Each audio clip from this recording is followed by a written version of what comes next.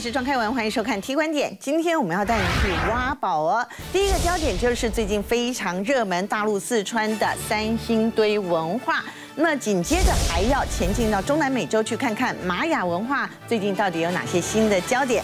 我们首先来关注的就是中国大陆最近以全新的科技大规模挖掘的三星堆文物，已经陆续发表了重大成果。九月份又在四川广汉的三星堆博物馆举行了考古成果发表会。先前出土的几件青铜器，我们来看到，像这个造型相当特别的青铜器的面具，高七十二公分，是目前出土面具当中最大的一件。或者是这个纵目人面具也是非常有特色的，所以人们就俗称为千里眼、顺风耳。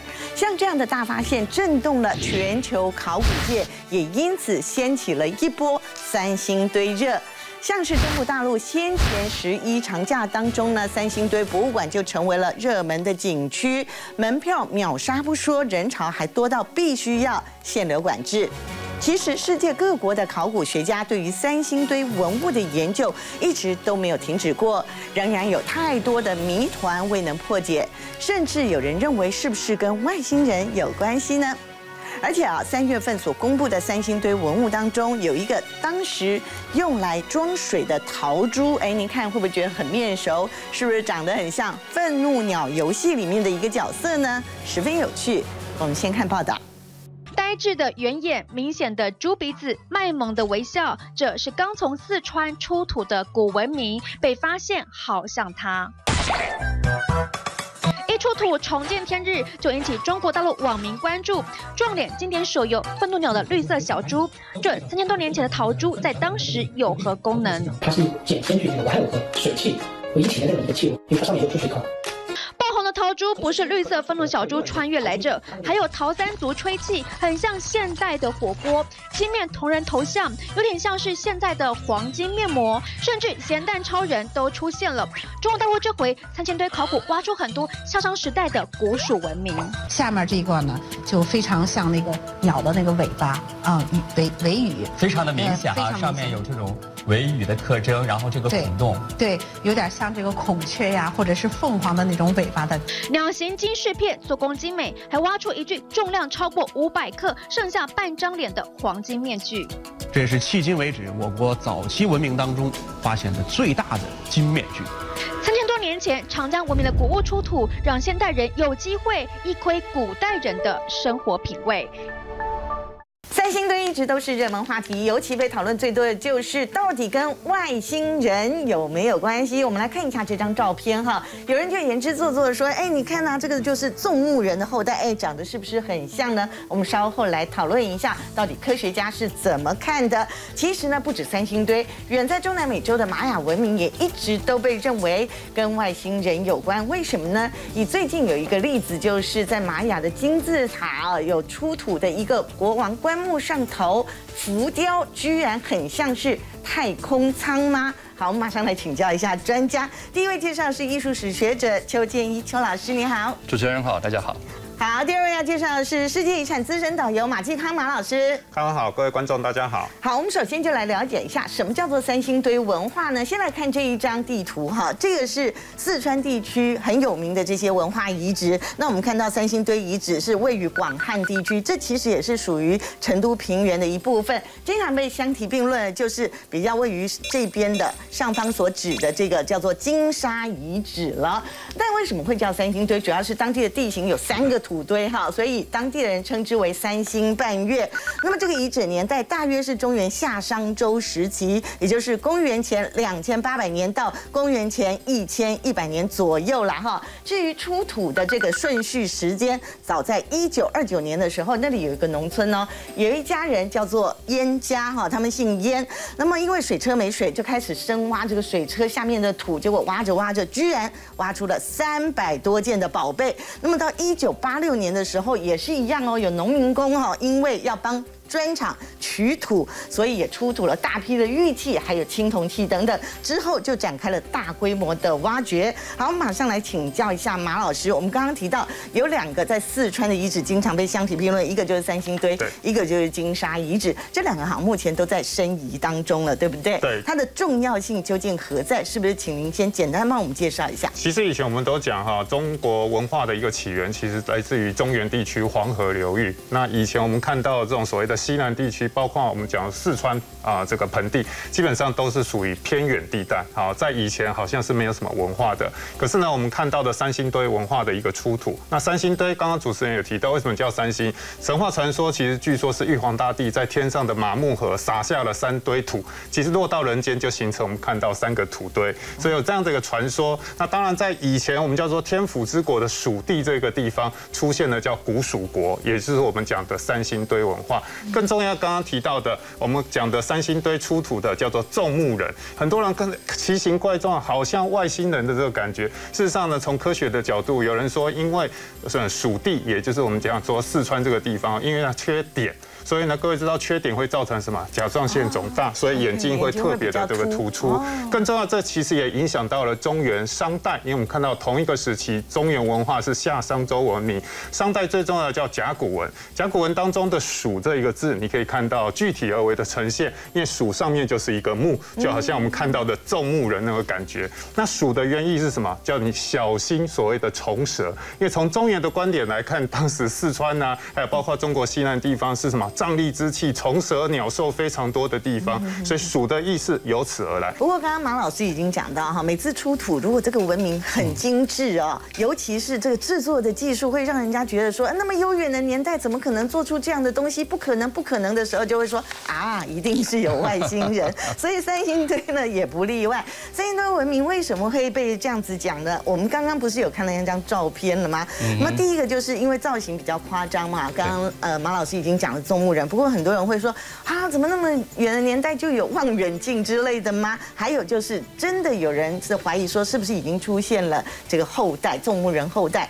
那么这位是王守义老先生，对不对？他是住在四川剑阁县的啊。不过王守义老先生好像说已经在二零二零年的时候过世了，但是科学家还真的哦去采集他跟儿子的这个 DNA 的样本啊，来做比对跟研究。有关这个部分，是不是请邱老师来跟我们谈一下？王守义呢，住在。四川没有错，那他的长相，我们可以看到那个照片，可以看看一下真的是挺像的。对，跟那个哇，你看那个脸的样子哦，看好像就从三星堆里面走出来啊。比例对不对？对啊，就是好像量身定做的。这个面具好，感觉起来就像是为特别为他的脸量身打造的，我们可以有这种感觉。是。但是呢，后来呢，哈，对这个王守义的这个 DNA 检测，当然事实上后来也对他儿子的 DNA 做过检测。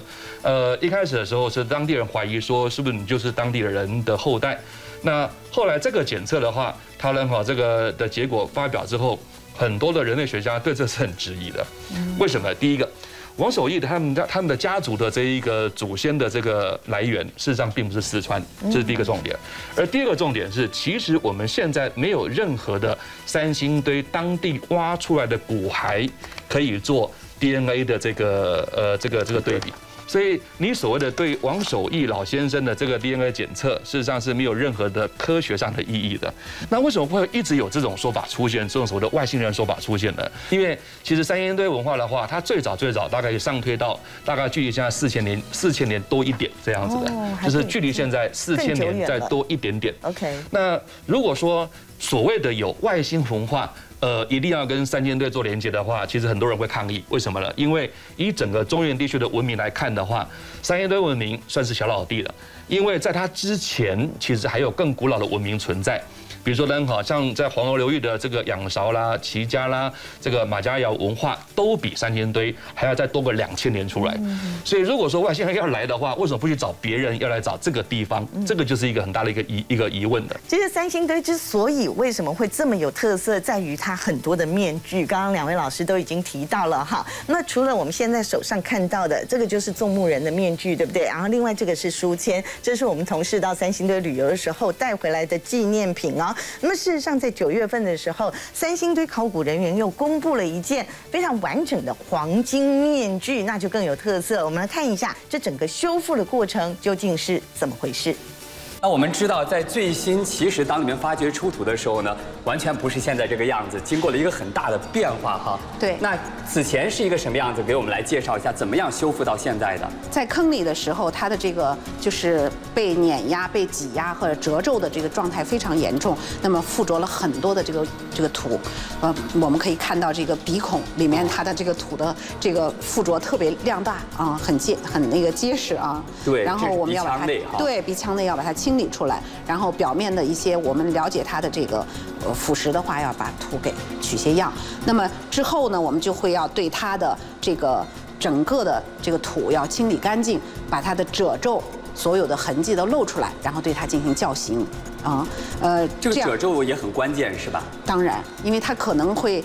这个牵扯到有纹纹饰啊，不能破坏。那么进行这个绞刑的呢，是我们一个一位非常有文物这个金银文物修复经验的，也有十几年这个就是金银制作经验的这个高级工艺师。对，这是在展开。他在展开，对啊，而且他很注意把这个已有的纹饰不要破坏掉，能够恢复它原来的形貌。通过前一段一个阶段性的修复之后，这个金面具的轮廓基本上已经出来了。嗯，呃，我们现在也把它对跟这个。前面一二期的进行一个比对，很明显的能看出来它的这个这个艺术这个风格哈是非常接近这个一期的，啊，包括它这种宽鼻阔嘴，然后它菱形的这种眼眶，正好跟青铜的这个立木都能够相匹配，包括它的耳朵。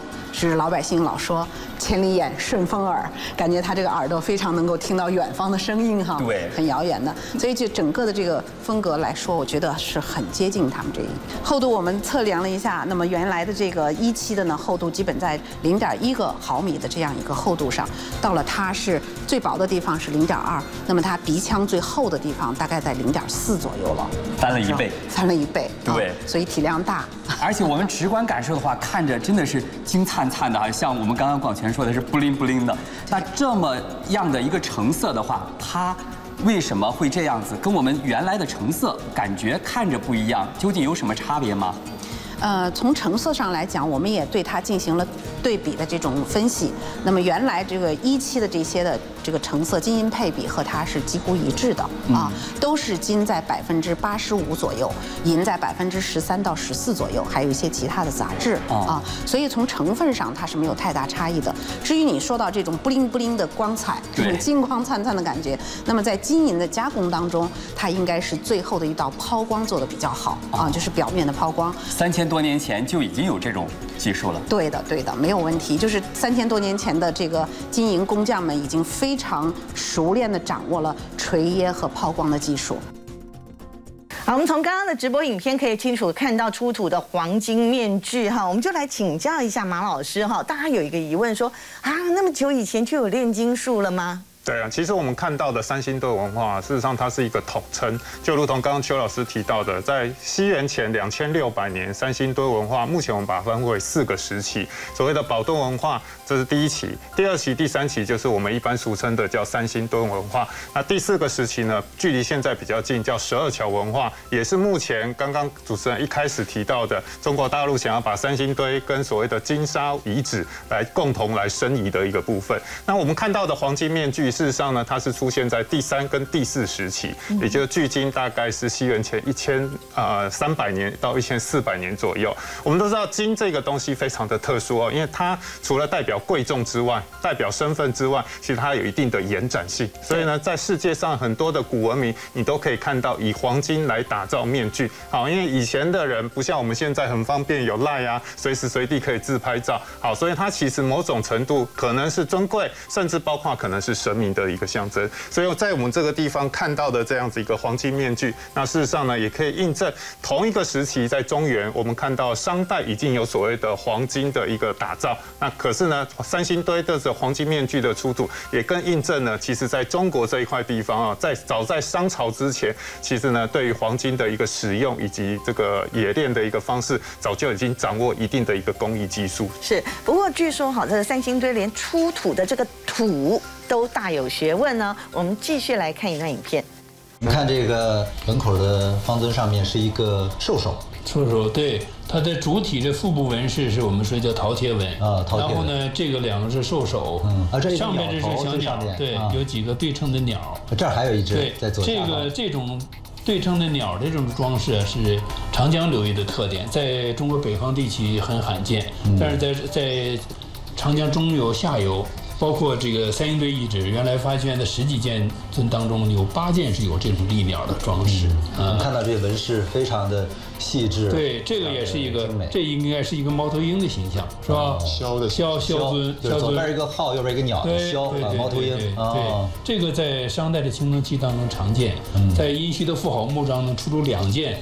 这个猫头鹰的形状，我们叫枭尊，所以它是一个。但是为什么是猫头鹰？有各种各样的推测。总之，它是一个非常这些动物啊，它应该是当时都有有神性的动物，它还不一定是日常生活的。比如说饕餮都不是日呃日常存在的。你看这个就比较形象，这个尖尖的嘴，是吧？这个大大的眼睛，有比较形象的，有比较抽象的符号，对对对，汇集在一起，就形成了这样的我们青铜器的一种凝丽的美。这是可以看到的方口尊，方口尊的口部。嗯，一开始发现的只是上面那一条，呃，那一条直线，那么有还不能确定它是个容器，但慢慢发掘就发现它肯定是一个方口的容器。嗯，我们也很惊喜，因为这种方口的这种容器在之前在三星堆也是呃发现非常少的。方尊这个是第一个。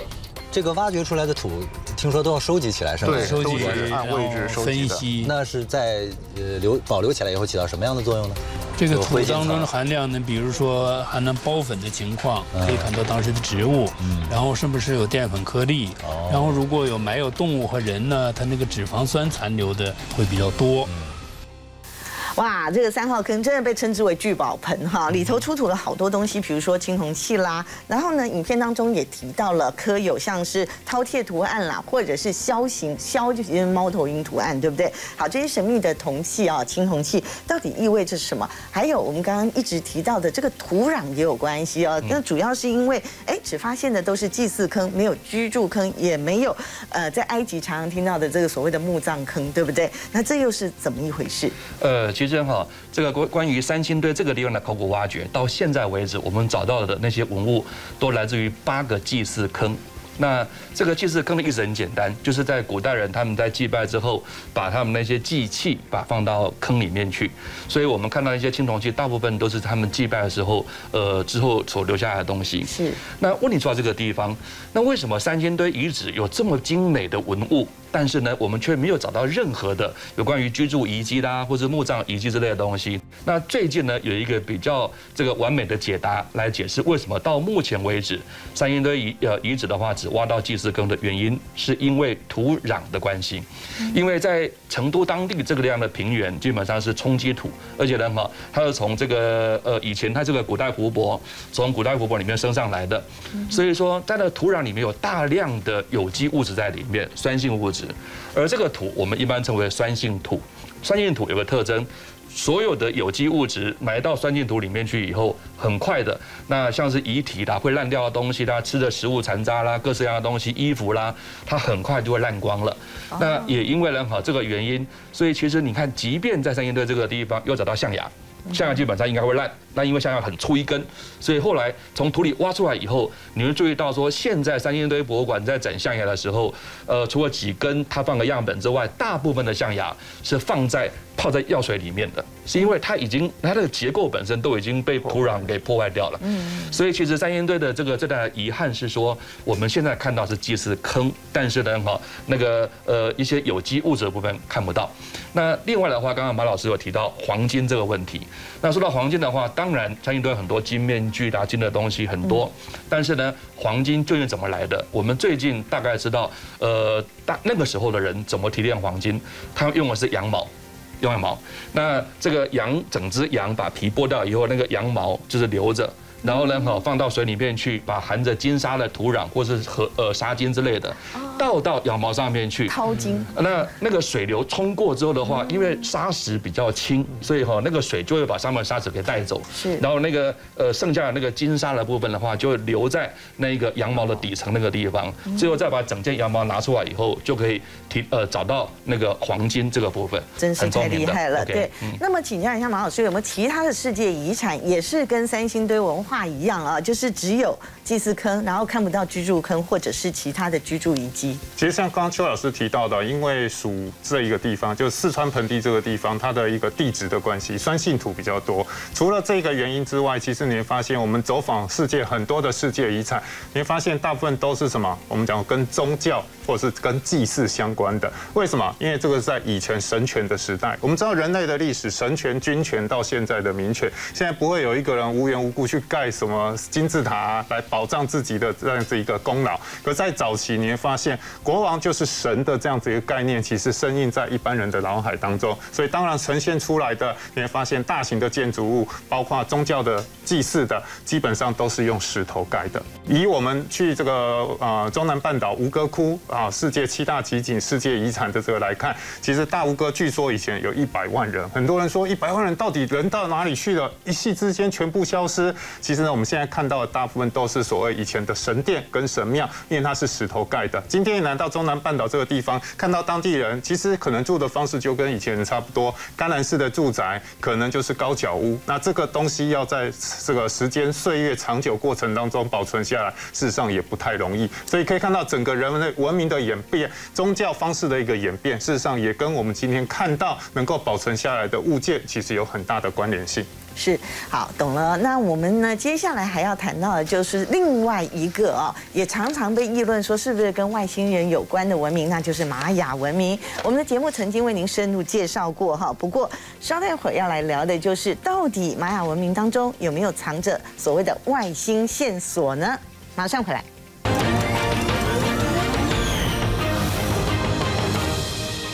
节目我们就要转到中南美洲，大家都知道有三大古文明，而其中呢，玛雅文化。是历史最悠久的。先前 T 观点也曾经为大家介绍过。不过呢，有关于玛雅文明的诸多神秘疑点，至今也是没有解答。比如说呢，二零二一年五月份，考古学家又在墨西哥的洞穴当中发现有上百个红黑色的手印，专家判断说这是玛雅人的成年仪式所留下来的。不过真正的答案当然还有待进一步确认。另外一个谜团则是啊，这个科学家曾经在墨西哥东部尤加敦半岛有一处度假胜地的沙滩底下发现了神秘洞穴，范围非常之大，而且里头发现有大量人跟动物的遗骸。听说这个洞穴就是玛雅人传说当中通往阴间的通道。我们先看报道。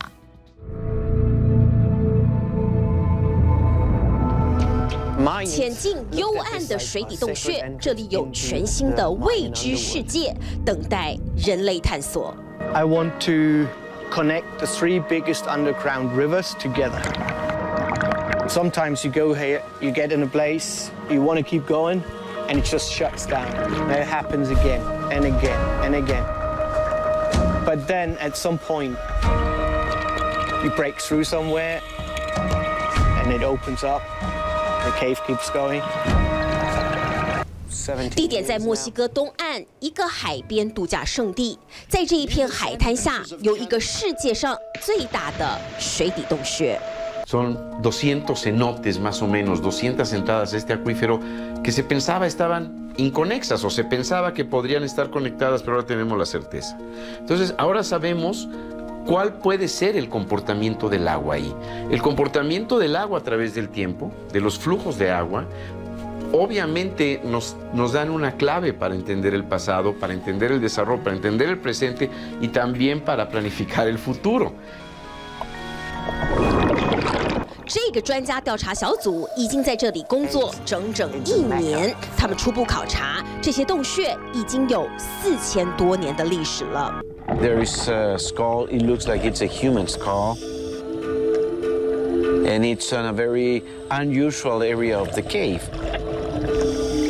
潜水和考古人员陆陆续续在洞穴里头找到了人骨以及动物骨骸和一些陶瓷器的碎片。这两个相连的洞穴，一个叫白色洞穴，另一个是双眼洞穴。Stretching for 347 kilometers, the freshwater caves are known as Cenote dos Ojos. The maze of underwater channels is not only extensive, but also deep. up to 100 meters in some spots. 因为范围太大，水底的状况不明，整个工作过程非常艰辛。In my head, it was just spinning around. You're gonna die. You're gonna die. You're gonna die. 甚至有一次，某个女性组员还差点送了命。 You need to breathe off this regulator. Hold my head above air. 尽管危险又辛苦，但工作人员都希望借着探索这个全世界最大的水底洞穴，来揭开古玛雅文明的神秘面纱。nos da una enorme y maravillosa perspectiva para entender los patrones de asentamiento antiguos, cómo pudieron desarrollarse, nos hace entender de manera mucho más clara eh, cómo se van dando también los patrones rituales, sitios de peregrinaje y finalmente los grandes asentamientos prehispánicos que conocemos que van a lo largo de todo este sistema. 尤加敦半岛遍布巨大的玛雅遗迹，而玛雅人居住的城市地底下也都是水洞状的洞穴，有人又称为溶洞。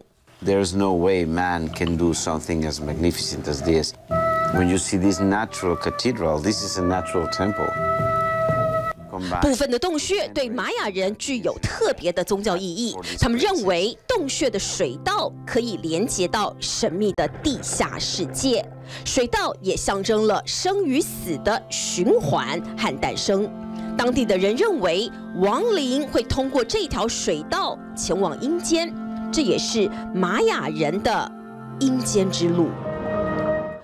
刚刚提到世界最大的水底洞穴在哪里呢？其实是一个度假胜地哦，是在墨西哥海滩的图鲁姆这个地方哈。本来是有两个洞穴哈，这两个洞穴本来就被发现了，但后来进一步才知道说，原来两个洞穴是互相通连的，而且这个距离呢，差不多是台北到高雄，也就是三百四十七公里啊。像这样子的水底洞穴哈，其实呢，先前这个探索频道，也就是 Discovery，他们曾经深入玛雅遗址一个叫做圣。尤恩天然景地方也找到了大量的遗骸，除了非常特殊的这些宗教意义之外啊，其实呢还有助于解开这个昌盛了长达三千年，而且呢我们都知道他们建筑技术相当高超的玛雅文明，但是为什么一夕之间就消失呢？马老师，据说呢玛雅文明啊，当然在整个过程当中，它还有不同部落的一个互互相的一个斗争，那在这个过程。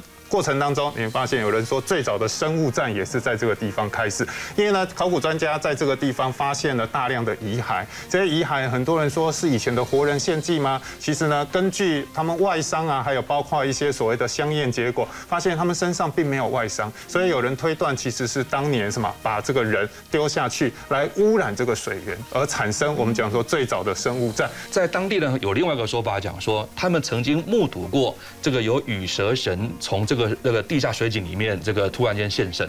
那说到这个羽蛇神是个什么样的神？其实我们刚刚提到，他应该是天神，但是呢，他似乎又跟在地下的那只巨蛇又做个联系。而羽蛇，我们在这一个呃古曼尔，他们叫库库尔坎，库库尔坎他是我的人类的生命的创造之神，那也是战士的守护神，水。对于马雅人很重要，因为如果没有水的话，就没有文化，当地是没有河流的。所以哈，这个水源跟雨蛇、跟生命、跟生命的来源这几件事情，你串联在一起，就会发现，其实对于古马雅人来讲来说的话，所谓的地下水井、地下水源、天然井，不管你怎么形容它，对他们来讲的话，都是属于一种生命的开始。那么我们刚刚讲到，就是说玛雅文明哈，我为什么一直认为说跟这个外星人有关？其实就在于他们的数学成就，哈，还有很多的艺术成就，真的现代人看起来还是觉得不可思议啊。比如说，他们测算地球年是三百六十五点二四二零天啊，那么现在测算是三百六十五点二四二二天，也就是说它的误差仅仅只有零点零零零二天，五千年来误差只有一天。那么金星年的部分，他们。测算是五百八十四天，跟现在测算哈，五十年内也只差了七秒钟，这才会让人家觉得说这不是外星人，还有别的原因吗？因为觉得说不可思议。好，再来呢，就是我们来看到有一个玛雅古城叫做帕伦克哦，它的悲鸣金字塔。那我们先讲一下帕伦克好了，它一直有所谓的美洲雅典之称哈。那这个金字塔里面哈，有一个国王的石棺。好出土之后，然后就发觉上面的浮雕，哎，奇怪，怎么长得很像一个太空站呢？这又是怎么一回事？一九四九年的时候，那时候有一个墨西哥考古队到这个地方做这个考察的时候，意外的发现这一座叫悲鸣金字塔的这个地基的下面的地方有点坏掉。而且看起来那个石头好像快翘起来这样子的，所以后来考古队的人花了三年时间，从一九四九一直挖到一九五二年，把整个地下给挖通。挖通以后的话，意外的看到在最下面那个地方看到了什么呢？看到了一座坟墓。其实你现在看到了这一个，看起来真的像外星人。为什么呢？因为好像是一个人正在操作一个非常非常复杂仪器。你看，跟我们看那个 E.T. 那个电影外星什么外星探险电影不是很像吗？对不对？所以很多人说，哇，这个这个如果不是外星人，什么是外星人？对。但是事实上呢，这个玩意儿被发现的时候，它原本是什么呢？它是一个国王，这个国王的名字叫巴嘎，巴嘎国王他的墓上面的盖子，这个是。平的放下来，盖在国王的墓上面的。那原本墓里面塞满了石头，塞满了泥土，所以我刚刚讲考古队花三年才把这地给挖通。那把盖子拿起来以后，最神奇的是，原本国王还躺在里面。这个当年的照片可以看到，脸上戴了一个玉面具。然后身上的骨骸都还在，那那这个这个是棺木的盖子。那根据呢哈，这一个金字塔的铭文显示，这位国王他是西元第七世纪的时候统治帕伦奎这个力量的国王，而且还是很强大的国王。那至于说画面里面看到所谓的外星人画面是什么呢？其实这个图应该要把它转过来正着看才对。因为你把它横过来看，就像是外星人一样。你把它正着把它立起来以后，看到说国王是你是往下掉的。那下面那个部分，它做呃背后那个部分，其实就是我们刚刚讲一只地下巨蛇的嘴巴张开来，准备要把国王给吃下去。但是我刚刚讲了，其实刚刚主持人也提到了这个玛雅人的概念。这个人死了都下地狱，这个包含了国王在内，只有坏人才上天堂，跟我们刚好颠倒。嗯，那所以哈，他是被巨蛇给吞噬。而至于说国王伸手好像抓住一根呃像操纵杆的东西，这是什么呢？那是什么呢？那是生命之树，生命树。古玛雅人相信这个世界是由生命树所造成的，所以哈，它是顺着生命树的树干到树根，一直持续下往下走，被这个巨蛇张开嘴巴给吃下去。它准备进入地下世界，进入人生的另外一个旅程。但是有人就说：好啦好啦，如果这个不是外星工作站的话，那么。水晶骷髅头又是怎么回事？一讲到水晶骷髅哈，其实大最有名的一定就是它，对不对？大家都看过这部老电影了哈，在《印第安纳琼斯》系列，哇，我以前超超爱的哈。我的偶像也是他。对对对。然后呢，这个水晶骷髅哈，它那个在剧中的情节是说，这个就是外星人留下的能量武器。当时整个那个电影的情节是这样，很多人就说，好啦，电影就是乱演的嘛，反正就是想象力很丰富。但是呢，有人说水晶骷髅其实是。有机可考的，怎么回事呢？一九二七年的时候，有位探险家在中美洲的这个地方，一个古城叫做鲁班埃顿古城，发现了。玛雅的水晶骷髅头，而且认为说这个水晶骷髅头几几乎乎跟现代我们所理解的水晶骷髅头是一致的，就说哇，玛雅人实在太厉害，对人体也有这么透彻的了解，甚至连大英博物馆都曾经收藏过哈。而且呢，如果集齐了十三颗水晶骷髅头，就可以打开星际之门。马老师可信吗？对啊，其实我们看到的水晶骷髅，我们对玛雅，玛雅本身就是一个传说。那事实上，水晶骷髅也是玛雅的传说当中所讲。他说地底下，我们刚刚讲到。地底对玛雅文化非常重要。他说地底下有一个啊，时间已经长达三千年的水晶骷髅王国。那在玛雅历著名的玛雅历当中，有五千年的一个历史。你可以看到玛雅历二零，据说玛雅历二零一二年的时候，你只要收集这骷髅水晶王国啊的这个骷髅头十三颗，把它聚集在一起，就如同主持人刚提到，就可以打开通往星际的大门。可是二零一二年过去了，我们也没看到星际大门到底在哪里。甚至也有人传说说，哎，只要什么，我们只要看。着这个水晶骷髅头，因为它其实包括下颚都是可以开合的，眼窝也非常明显，就如同刚刚提到的，完全按照人体的一个真正的一个方式来打造。好，据说呢，这也是以前玛雅人在动手术的时候，你只要看着他的眼，好，基本上就会被催眠。这其实是不用打麻醉药催眠动手术的一个方式。事。可是我们看到种种的传说，包括电影、电玩、游戏，都把水晶骷髅拿来当做非常重要的一个文本跟题材。可到最后发现，原来是骗局一场。好，因为呢，包括曾经陈列在大英博物馆，还有很多欧洲的博物馆，大家煞有其事把它呈现出来。事实上，这都是十九世纪，你看到欧洲商人，因为呢，我们对于玛雅、对于印加这种古文明非常的好奇，可是他没有留下文字，所以往往就给了很多人能够揣测或是假造的这样的机会。所以呢，我们看到的这些，基本上各位要把它当做一个故事来看，增加它的一个趣味性。就居然连博物馆都上当了，是吧？好，不过呢，当玛雅古文明遇到现代科技，又会有哪些全新的发现呢？马上回来继续聊。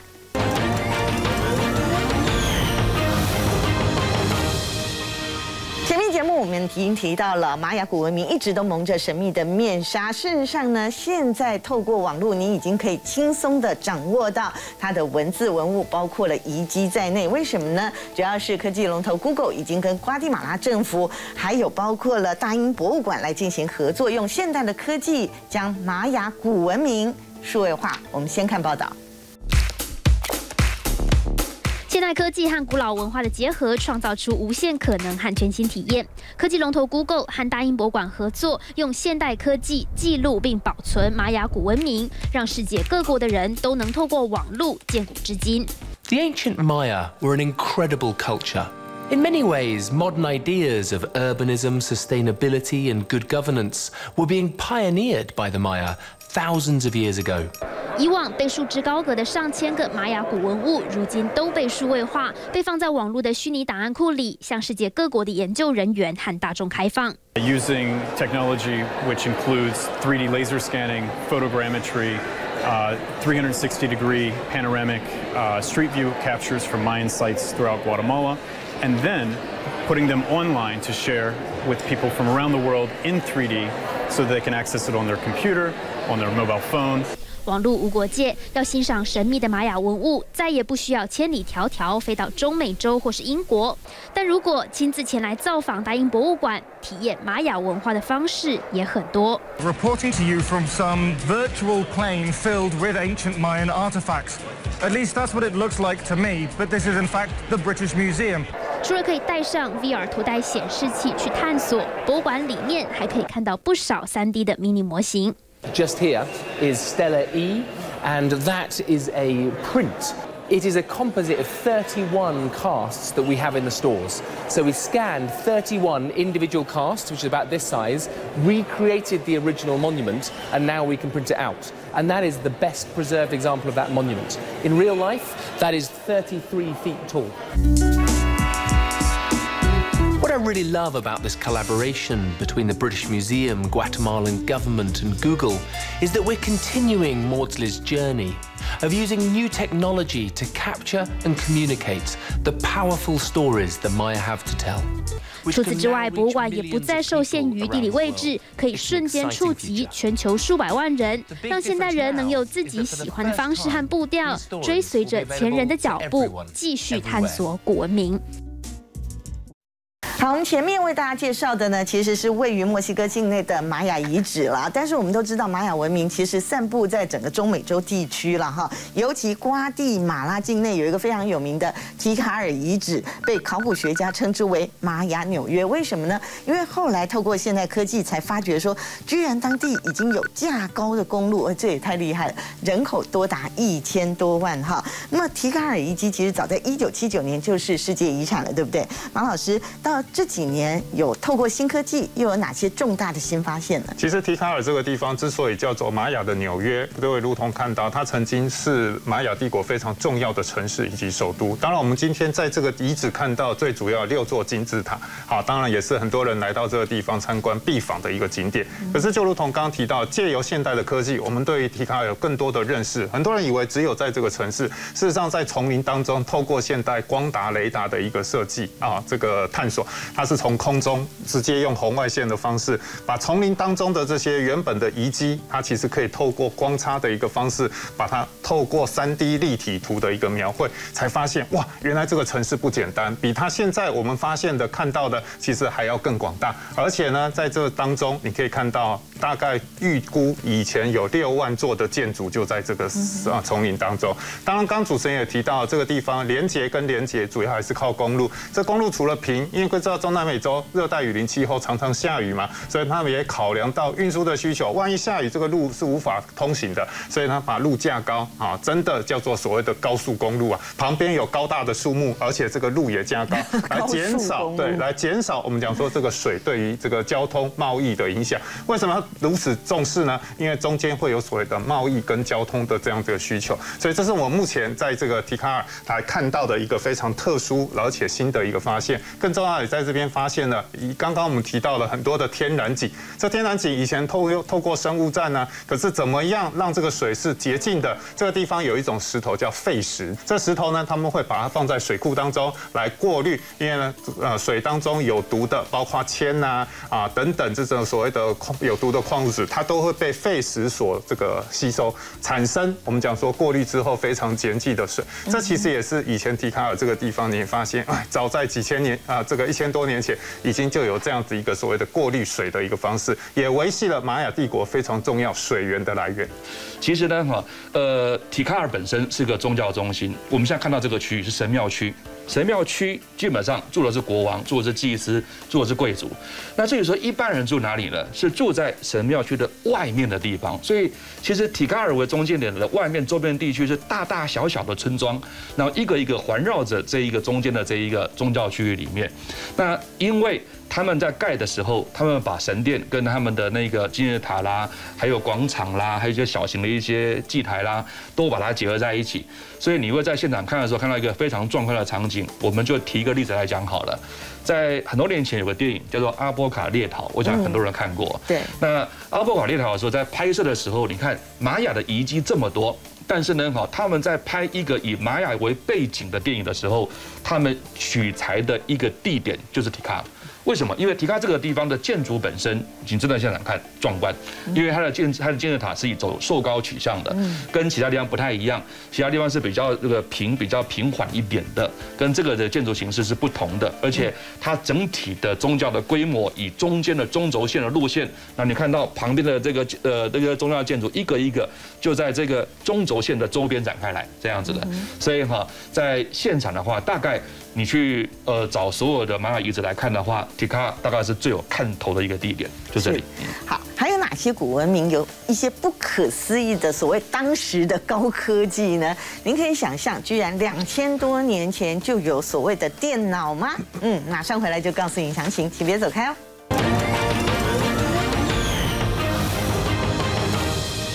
好，在雅典博物馆可以看到哈，展示的这个不规则的铜器哦，哈，看起来其貌不扬，但它可是从海底打捞上来的宝贝。后来科学家把它拼凑了，近几年来发现说，原来这是两千多年前的电脑，而且甚至可以精确的算出奥运日期吗？我们请邱老师来告诉我们。呃，不只是奥运日期，我先解释一下这什么东西啊？嗯，其实它是一九零零年的时候在海底沉船打捞上来的。那当年是捞海绵的这个呃。工人在在渔夫在海下发现，那发现以后这些东西的话，在海底沉船挖出来这些遗物，全部移进了雅典国立博物馆。嗯，所以你现在看这东西的话，是在雅典国呃国立博物馆里面的。而且呢，哈，重点是这个东西当你被找到的时候，其实不长这个样子。它其实一开始的时候，它在是装在一个小木头箱子里面。那因为沉船在海里两千多年的时间，所以外面长满了珊瑚礁啦，长满了一些贝壳什么的，就把它包住了。所以在一开始的时候，就是个完整的一个看起来像木头的，可是外面有很多珊瑚的一个不知道什么的东东西，就在博物馆里面。后来在一九零二年的时候。如果真的有神的话，神真的出现了。为什么呢？在一九零二年的时候，在博物馆放了两年之后，这一个木头盒子啪的一声爆开来。爆了！你现在看到这个就是爆开了以后的结果。就一爆开了以后啊，全部人哇吓一大跳。为什么呢？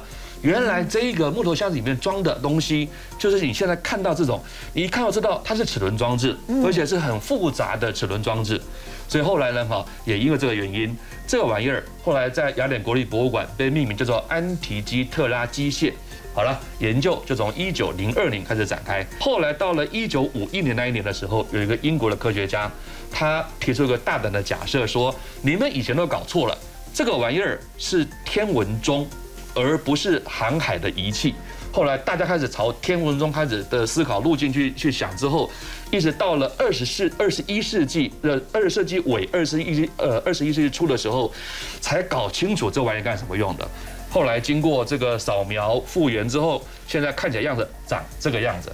我告诉各位各位观众，我念这行念了几十年，你跟我讲说什么什么外星人怎么骂我呃什么外星啦什么东西，我是不信的。但是你要跟我讲安提斯拉机械是外星人做的，我信。为什么呢？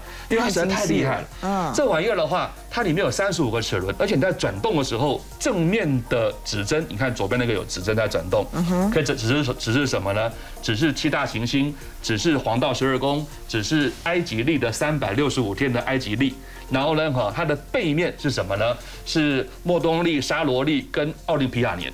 简单来讲，转动转盘，它带动里面的齿轮，正面跟背面有六种历法在彼此之间互相换算。天哪，那这个很惊人呢。对，太你想想看，为什么古埃及人做做呃古希腊人做这种东西呢？是因为很简单呐，希腊人是航海民族啊，他一下子去了埃及，去了中东地区去做生意之类的。就我跟你约好说，哎，我们约好十月十号见。结果人好十月十号到的时候，大家都没来。为什么没来？很简单，我的十月十号跟你的十月十号不一样啊。嗯，因为就像是我们讲的国历跟农历，它有一个换算的时间差一样。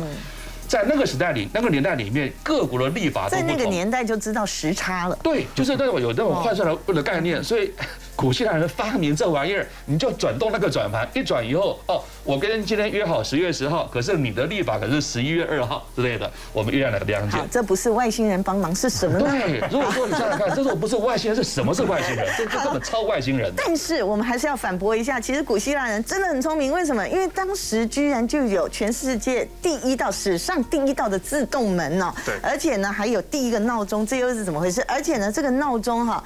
跟外星人没关系，居然跟柏拉图有关系，马老师。对啊，其实希腊人真的很聪明，他们在生活当中找寻智慧。像刚刚提到的柏拉图设计的闹钟啊，它其实用沙漏的原理，只不过里面装的不是沙啊，它是经过时间，还有包括一定是这个计算之后，多少时间流下来多少的水，它会从第一个流到第三个。那比较不一样的是，流到第三个的时候呢，你会发现因为空空气的挤压，它会把这个放在这个洞口的这个哨音就会发出恼人的噪音。利用这样的方式，我们讲说来提醒人时间到了，所以这是变成闹钟。好，当然跟我们现在闹钟有异曲同工之妙。自动门呢，其实也是希腊一个人叫做希罗，他其实呢，哎，展现神机啊！你在拜拜的时候，那个神神像的那个门就会自动打开，这位这多神奇的一个概念。其实它也说穿了，也跟现在的原理很简单，因为它圣坛有火嘛，那火呢，其实借由所谓的热力会让水膨胀，膨胀之后呢，再把水啊弄到另外的水槽当中。利用重力，